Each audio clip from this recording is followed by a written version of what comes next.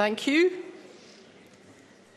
The question is that motion 987 in the name of Nicola Sturgeon on appointment of junior Scottish ministers be agreed and members should cast their votes now.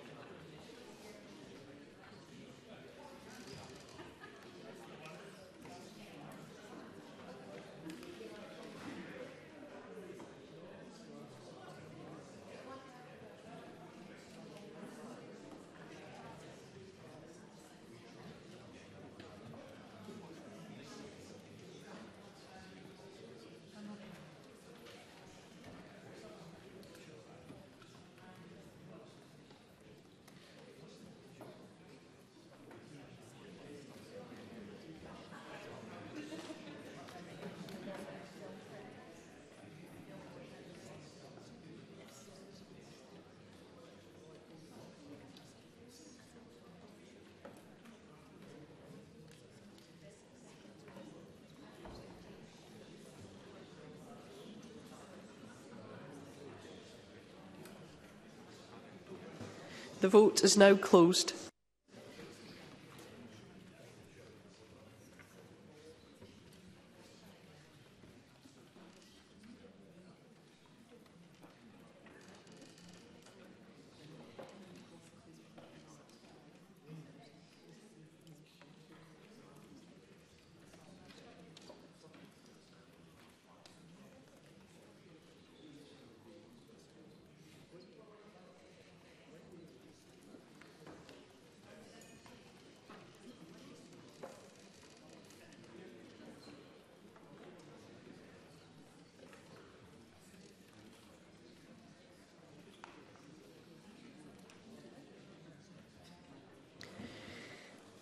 The result of the vote on motion 987 in the name of Nicola Sturgeon is yes 69, no 56.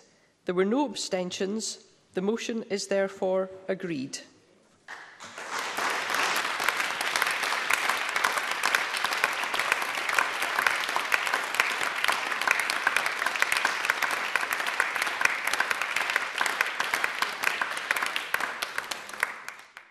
There will now be a short pause before the next item of business.